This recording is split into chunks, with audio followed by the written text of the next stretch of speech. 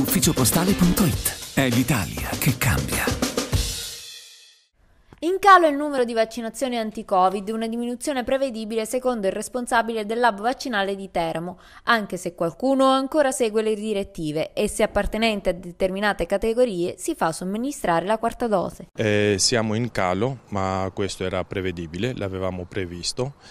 Eh, io direi anche che sono un po' sorpreso perché i numeri sono bassi, comunque qualcuno continua a venire, vuole fare il secondo booster per le categorie quelle che sono raccomandate, quindi c'è una piccola fetta della popolazione che segue le linee, le raccomandazioni scientifiche, mentre la maggior parte delle persone aspetta il vaccino, quello aggiornato, quello che si dice che verrà a settembre e ottobre.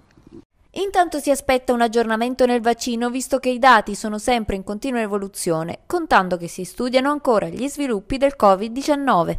Innanzitutto la raccomandazione è quella di ogni anno di fare il vaccino anti-influenzale classico. Noi aspettiamo il vaccino anti-Covid, quello aggiornato, si parla di una dose, ma anche qua dobbiamo essere molto cauti a dichiarare questo perché ricordo che abbiamo cominciato la campagna vaccinale dicendo che con il vaccino mRNA, anche con gli altri, a parte uno, il ciclo vaccinale era fatto di due dosi.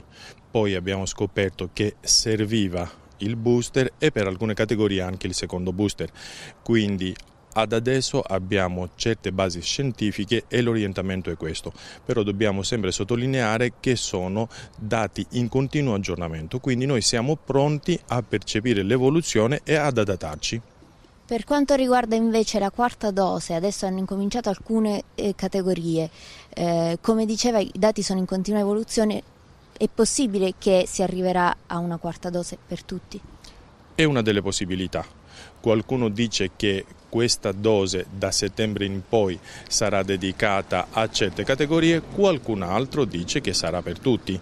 Allora, quando dico qualcun altro intendo persone che studiano, persone molto molto competenti e dico questo per dire che anche loro che fanno questo da una vita hanno difficoltà di prevedere perché il Covid non c'era, è una malattia nuova, e i dati sono in continuo aggiornamento, che i dati, quando, dico, quando parlo di dati parlo sia di dati che riguardano la medicina, ma sia le nuove varianti del virus stesso.